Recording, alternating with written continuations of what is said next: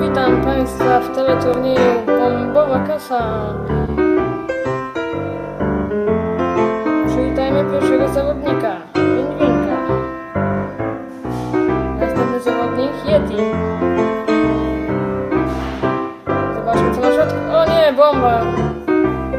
Wyzwijmy sprzątaczkę. Wygrał Pan milion złotych.